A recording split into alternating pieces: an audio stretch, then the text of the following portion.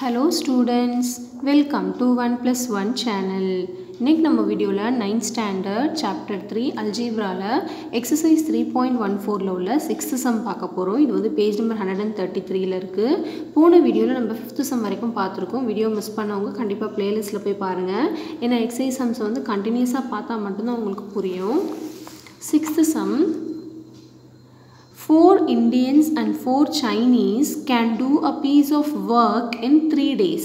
Okay அதாவது work and number of days பற்றி சொல்லியிருக்காங்க ஒர்க் டன் சம் இது கொஞ்சம் கேர்ஃபுல்லாக இருக்கணும் while two Indians and five Chinese can finish it in four days how long would it would it take for one Indian to do it how long would it take for one Chinese to do it அப்படின்னு கேட்டிருக்காங்க அதாவது எப்பவுமே வந்து ஒரு number of people working and number of days வரும்போது அது நம்மளுக்கு பார்த்தாலே தெரியும். அது வந்து ஒரு இன்வர்ஸ் ப்ரொபோஷனில் தான் இருக்கும். அதாவது இப்போ வந்து ஒரு இப்போ ஒரு நாலஞ்சு பேர் சேர்ந்து ஒரு வேலையை செய்கிறதுக்கும் ஒருத்தர் செய்கிற வேலைக்கும் வந்து டிஃப்ரென்ஸ் இருக்குது அதாவது இப்போ ஒருத்தர் வந்து ஒரு அஞ்சு நாள் ஒரு ஒரு வேலையை வந்து ஒருத்தர் வந்து செஞ்சால் ஒரு அஞ்சு நாளில் கம்ப்ளீட் பண்ணலாம் அப்படின்னா அதுவே வந்து ஒரு மூணு பேர் சேர்ந்து செய்யும்போது அந்த நாள் வந்து கம்மியாகும். ஒரு ரெண்டு நாளில் முடிக்கலாம். ஸோ அந்த மாதிரி தான். ஸோ நம்பர் ஆஃப் பீப்புள்ஸ் வந்து அதிகமாக அதிகமாக நம்பர் ஆஃப் டேஸ் வந்து குறையும். ஸோ இந்த work work and number of days பொறுத்த வரைக்கும் இது வந்து ஒரு இன்வர்ஸ் ப்ரொபோர்ஷனில் தான் இருக்கும். ஓகே நான் இப்போ பாருங்கள் நம்ம என்ன கண்டுபிடிக்கணும்னா uh, ஒரு இந்தியன் அண்ட் ஒரு சைனீஸ் வந்து ஒர்க் பண்ணால் அந்த அந்த ஒர்க்கை வந்து எத்தனை நாளில் கம்ப்ளீட் பண்ண முடியும் அப்படின்னு நம்மளை கேட்குறாங்க ஓகே ஸோ ஒர்க் டன் ஜாபுங்கிறதுனால நம்ம வந்து எப்பவுமே எப்படி எடுப்போம்? Uh, ஃபஸ்ட்டு வந்து நம்ம சைனீஸ்க்கும் இந்தியன்ஸ்க்கும் ஒரு ஒரு வேரியபிள் எடுத்துக்கலாம். ஸோ நான் எடுத்திருக்கேன் பாருங்கள் let one Indian can do a work in one by X ஏன் நம்ம ஒன் பை எக்ஸ்ன்னு எடுக்கிறோன்னா அந்த எக்ஸ் எக்ஸ் வேலையில் வேலையை ஒன் டேல முடிக்கிறாங்க. ஸோ நம்ம ஒர்க் டனை எப்பவுமே நம்ம இப்படி தான் எழுதுவோம். Next let one Chinese can do a work in one by Y days okay அதாவது ஒய் வேலையை ஒன் டேல முடிக்கிறாங்க. புரியுதா? இப்போ இதை நம்ம எடுத்து எடுக்கிறது. ஸோ டோட்டலாக இருக்கிற எக்ஸ் வேலையை ஒரு நாளில் முடிக்கிறாங்க. ஒய் வேலையை ஒரு நாளில் முடிக்கிறாங்க. இப்போ கொஷனுக்கு வாங்க. கொஷனில் என்ன சொல்லியிருக்காங்க பாருங்கள் four Indians and four Chinese can do piece of work in three days அதாவது நாலு இண்டியன் அப்போது இது வந்து ஒரு இண்டியன் அப்போ நாலு இண்டியனுங்கும் போது என்ன ஆகும் இங்கே? இன்ட்டு ஃபோர் புரியுதா? அப்போ ஃபோர் பை எக்ஸ்ன்னு வரும். புரியுதா? ஸோ அதான் நான் இங்கே போட்டிருக்கேன். நாலு Indian so four Indians four by X plus four Chinese so four by ஒய்னு எழுதலாம். Can complete work in three days so three டேஸுங்கும் போது என்ன வரும்? One by three so number of டேஸும் நம்ம அப்படி தான் எழுதணும் ஸோ த்ரீ டேஸை ஒன் த்ரீ டேஸில் ஒன் ஒர்க்கை வந்து கம்ப்ளீட் பண்ணுறாங்க நம்ம வந்து ஃப்ராக்ஷனில் தான் எழுதுவோம். நவ் ஸோ இந்த ஈக்குவேஷன் உங்களுக்கு புரிஞ்சிருக்கும்னு நினைக்கிறேன். அதாவது four Indians and four Chinese can do a piece of work in three days அப்போ ஃபோர் இண்டியன்ஸ் வரும்போது இது வந்து ஒரு இண்டியனுக்கு வந்து ஒன் பை எக்ஸ் அப்போ ஃபோர் இண்டியன்ஸுன்னு வரும்போது four by X four four Chinese வரும்போது ஃபோர் பை ஒய் மூணு நாளில் முடிக்கிறாங்க. அப்போ one by three next again next ஒன்று கொடுத்துருக்காங்க பாருங்கள் while two Indians and five Chinese can finish it in four days. அப்போ நம்ம இங்கே என்ன எழுதலாம்? Two by X plus five by Y which is equal to one by four so நம்ம ரெண்டு ஈக்குவேஷன் வந்து ஃபார்ம் பண்ணிட்டோம். ஸோ ரெண்டு ஈக்குவேஷன் வந்து ஃபார்ம் பண்ணியாச்சு. நான் ஏன் இங்கே ஈக்குவேஷன் ஒன் அண்ட் டூ எடுக்கலன்னு உங்களுக்கு புரியுதா பாருங்கள் நம்ம எப்போயுமே ஈக்குவேஷன்ஸ் வந்து நம்மளுக்கு எப்படி இருக்கும்? எக்ஸ் ஒய் டினாமினேட்டர்லையாக இருக்கும்? Four X plus four Y அந்த மாதிரி தான் நம்மளுக்கு எப்போயுமே இருக்கும். ஸோ நம்ம இது ஆல்ரெடி நம்ம இந்த மாதிரி கேசஸ் பார்த்துருக்கோம். ஸோ என்னுடைய வீடியோஸை கண்டினியூஸாக பார்க்குறவங்களுக்கு புரியும். நம்ம ஆல்ரெடி ப்ரீவியஸ் எக்ஸசைஸ்லாம் பார்த்துருக்கோம். இது வந்து நம்ம எப்படி கன்வெர்ட் பண்ணுவோம்னு பாருங்கள் இந்த எக்ஸ் ஒய் டினாமினேட்டரில் இருக்குது அப்போ நம்ம என்ன பண்ணுவோம்? Let one by X is equal to A and one by Y is equal to B அப்படின்னு எடுத்துக்குவோம். ஞாபகம் இருக்கா? எஸ் அப்போ நான் one by X is equal to ஏனும் one by Y equal to pin substitute பண்ண போகிறேன் தட் இஸ் நத்திங் பட் இப்படி இது என்னதுன்னா ஃபோர் பை எக்ஸ் அப்படிங்கிறது ஃபோர் பை எக்ஸ் அப்படின்னா என்னதுன்னா ஃபோர் இன்ட்டு ஒன் பை எக்ஸ்னு அர்த்தம். இப்போ இந்த ஒன் பை எக்ஸ்க்கு பதிலாக ஏ போட்டுக்கிட்டேன். அப்போ இது என்ன ஆகிடும் ஃபோர் ஏ ஸோ அதான் நான் இங்கே எழுதியிருக்கேன். ஃபோர் ஏ நெக்ஸ்ட் இது வந்து ஃபோர் பி ஆகிடும் இந்த ஒன் பை த்ரீ அப்படியே தான் இருக்கும். புரியுதா? இப்போது நம்ம இதை அப்படியே விடுறதாலும் விடலாம். இல்லைனா இந்த இந்த டினாமினேட்டர் வந்து நீங்கள் சம்டைம்ஸ் மிஸ்டேக் பண்ணுவீங்க. அதனால் நம்ம வந்து எல்சிஎம் எடுத்துக்கலாம். இந்த பக்கம் கொண்டு வந்துடலாம். இது ஒன் பை த்ரீ இருக்கிறது. நம்ம இந்த பக்கம் கிராஸ் மல்டிப்ளிகேஷன் இந்த பக்கம் கொண்டு வந்துட்டா த்ரீ இது வந்து ஃபோ இதோட மல்டிப்ளை ஆகுமா? அது இந்த ஸ்டெப் என்ன வரும்னு நான் எழுதுகிற எழுதுகிறேன் பாருங்கள் three into four A plus four B which is equal to ஒன்னு வரும். இந்த த்ரீ அப்படிங்க மல்டிப்ளிகேஷனில் வரும். புரியுதா? அப்போது த்ரீ ஃபோர்ஸ் ஆர் வந்து டுவெல் ஏ இந்த three fours are twelve B equal to one அவ்வளோதான் இப்போ நம்ம ஒரு ஈக்குவேஷன் ஃபார்ம் பண்ணியாச்சு. ஸோ திஸ் இஸ் ஈக்குவேஷன் ஒன்னு எடுத்துக்கிறேன். அதே மாதிரி இந்த ஈக்குவேஷன்லேயும் நம்ம சப்ஸ்டியூட் பண்ணலாம். டூ பை எக்ஸ் எப்படி எழுதலாம்? டூ ஏ இந்த ஈக்குவேஷன் இது. இது வந்து இந்த ஈக்குவேஷன் புரியுதா? ஃபைவ் பை ஒய் இருக்கிறது எப்படி எழுதலாம்? Five B which is equal to one by four so இப்போ அதே மாதிரி இந்த ஃபோர் வந்து இந்த பக்கம் வந்தால் four twos are eight A four fives are twenty B equal to இந்த ஒன் அப்படி போட்டுக்கிட்டேன். ஸோ திஸ் ஈக்குவேஷன் டூ இப்போ நம்ம ரெண்டு ஈக்குவேஷன் நம்மளுக்கு கிடச்சிருச்சு.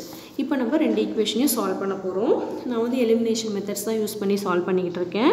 கொஷனில் வந்து solve by any one of the மெத்தட்ஸ்னு சொல்லியிருக்காங்க. உங்கள் இஷ்டம் நீங்கள் எந்த மெத்தடில் வேணாலும் சால்வ் பண்ணலாம். ஓகே ஸோ எலிமினேஷன் மெத்தட் உங்களுக்கு ஞாபகம் இருக்கும்னு நினைக்கிறேன். இப்போ இங்கே டுவெல் ஏ இருக்குது இங்கே எயிட் ஏ இருக்குது இங்கே டுவெல் பி இருக்குது இங்கே டுவெண்ட்டி பி இருக்குது ஓகே ஒன்று ஏவை கேன்சல் பண்ணுறதா இருந்தால் இங்கே வந்து டுவெல் ஏ வரணும் இல்லைனா இங்கே எயிட் வரணும் ஸோ ரெண்டுமே பாசிபிள் கிடையாது. பார்த்தாலே தெரியுது. கரெக்டாக இங்கே இங்கேயும் வந்து டுவெல் வர முடியாது இங்கேயும் எயிட் வர முடியாது. அதே மாதிரி தான் இங்கேயும். பி கேன்சல் பண்ணோன்னாலும் இது பாசிபிள் கிடையாது. இங்கே இங்கே வந்து டுவெண்ட்டி ஆக முடியாது. டுவெல்லோட எதை மல்டிப்ளை பண்ணாலும் டுவெண்ட்டி வராது. அப்போது இந்த மாதிரி கேசஸில் நம்ம என்ன பண்ணணும்னா எப்பவுமே எலிமினேஷன் மெத்தட்னா ஒரே ஒரு ஈக்குவேஷனை தான் ஒரு நம்பரால் மல்டிப்ளை பண்ணுவோம். சேம் நம்பர் ஆகிடும் ஏவை கேன்சல் பண்ணுறதா தான் இங்கே ரெண்டும் சேம் நம்பர் ஆகிடும் ஆனால் இங்கே வந்து அந்த மாதிரி பண்ண முடியாது. ஏன்னா இந்த ஏவை கேன்சல் பண்ணணும்னா எயிட்டோட எதை மல்டிப்ளை பண்ணாலும் டுவெல் வராது. அப்போ இந்த மாதிரி கேஸில் என்ன பண்ணணும்னா ரெண்டுத்தையுமே சேம் நம்பர் ஆக்கிக்கோங்க. இப்போது இங்கே ரெண்டுமே சேம் நம்பராக வரணும்னா என்ன பண்ணணும்? இங்கே பாருங்கள் எயிட் எயிட்டோட எதை multi eight ones are eight eight twos are sixteen eight threes are twenty four வருது. அதே த்ரீ இங்கே மல்டிப்ளை பண்ணால் டுவெண்ட்டி ஃபோர் வருமா? எஸ் அப்போது என்ன அர்த்தம்? இந்த ஈக்குவேஷனை வந்து first sorry twelve twos are twenty four வரும். Sorry eight threes are twenty four வரும் twelve twos are twenty four வரும் அப்போது ஃபஸ்ட் ஈக்குவேஷன் ஃபுல்லாக டூவாலையும் செகண்ட் ஈக்குவேஷன் ஃபுல்லாக த்ரீயாலையும் மல்டிப்ளை பண்ணணும்னு அர்த்தம். இப்போ ஏவை கேன்சல் பண்ணணும்னா இதை மட்டும் டூவால் மல்டிப்ளை பண்ணணும்னு அர்த்தம் கிடையாது. ஃபுல் ஈக்குவேஷனையும் தான் பண்ணணும். ஓகே வீடியோஸை கண்டினியூஸாக பார்க்குறவங்களுக்கு புரியும் இந்த எலிமினேஷன் மெத்தட்ஸ்லாம் இப்போ பாருங்கள் இப்போ புரிஞ்சிச்சு அவங்களுக்கு ஏவை கேன்சல் பண்ணணும்னா இதை நான் டூவாலையும் இதை வந்து த்ரீயாலையும் மல்டிப்ளை பண்ணணும். இப்போ நீங்கள் பிஏ கேன்சல் பண்ணணும்னா என்ன பண்ணணும்னு கொஞ்சம் திங்க் பண்ணுங்கள் அதே மாதிரி. இப்போ என்ன பண்ணலான்னு பாருங்கள் இங்கே வந்து twelve ones are twelve twelve twos are twenty four twelve fives are வந்து சிக்ஸ்டி வருமா? எஸ் அதே மாதிரி அப்போ இதை வந்து ஃபைவால் மல்டிப்ளை பண்ணணும். இதை வந்து டுவெண்ட்டி இன்ட்டு த்ரீ பண்ணால் சிக்ஸ்டி வருமா? அப்போது டுவெ இதை வந்து த்ரீயால் மல்டிப்ளை பண்ணிக்கணும் ஸோ உங்கள் இஷ்டம் பிஏ கேன்சல் பண்ணுறதாலும் பண்ணிக்கலாம் ஏவை கேன்சல் பண்ணுறதாலும் பண்ணிக்கலாம்.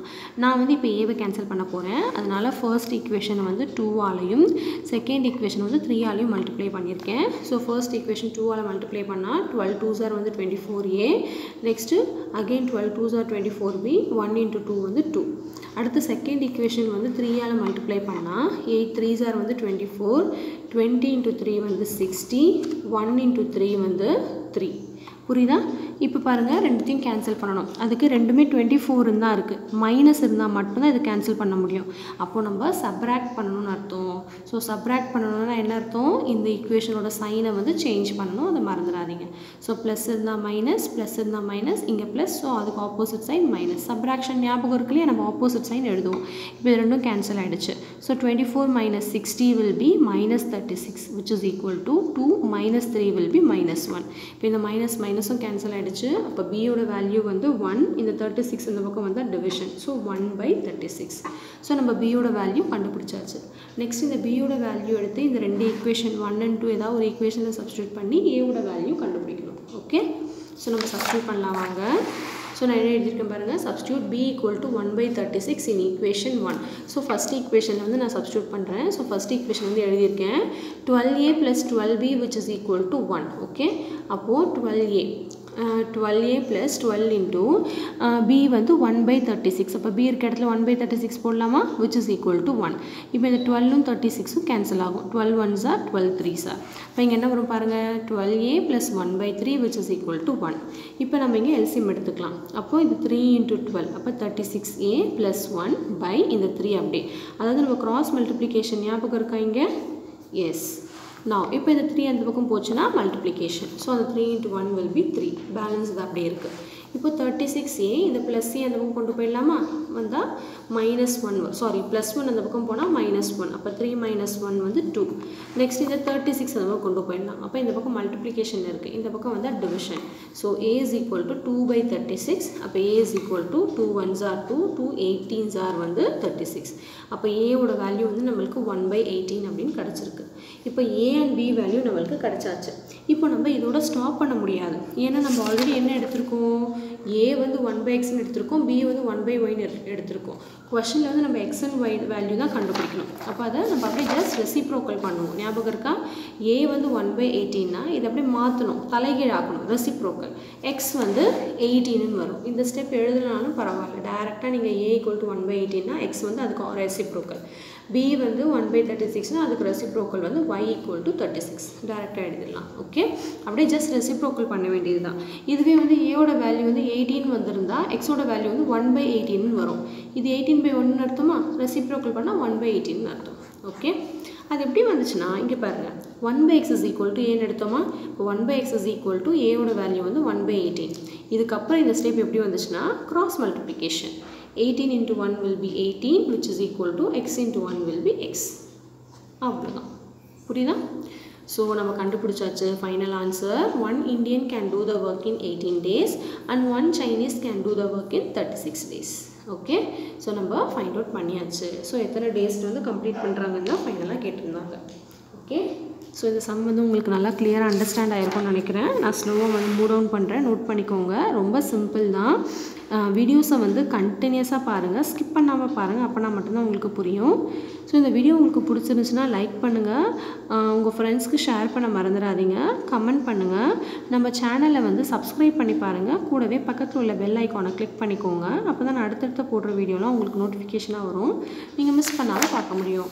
நம்மளுடைய இன்னொரு சேனல் சங்கீதா சமையல் அண்ட் வ்ளாக்ஸ் அதையும் சப்ஸ்கிரைப் பண்ண மறந்துடாதீங்க.